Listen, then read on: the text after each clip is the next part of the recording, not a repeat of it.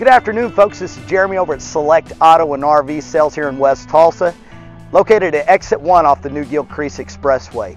We service all makes and models of RVs. We'd love to have an opportunity at your business.